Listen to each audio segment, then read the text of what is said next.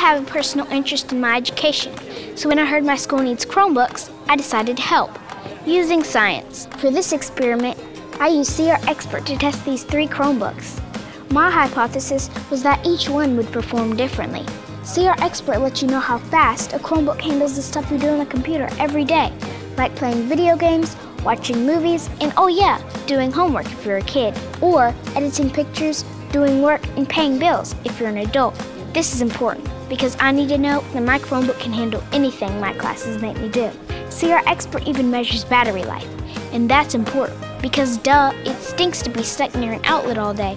After you run the tests, CrXPRT gives you two simple scores for comparison and review. It's like a cross between final exams and speed trials for Chromebooks. I downloaded the tests, ran them on each device, and checked my results against the numbers on the CrXPRT website. Running the tests was easy, but you could also go on the CrXPRT website for a big bunch of scores and compare from there. The numbers confirmed my suspicions. Not all Chromebooks are created equal. If you want to check my work, go to crxprt.com. They have the results from my experiment and a bunch of other people's right there. Either way, CrXPRT takes guesswork out of the equation. Whether you're looking for a Chromebook to use in the classroom, at home, or in the office, CrXPRT is a scientifically sound method for finding the Chromebook that's right for you.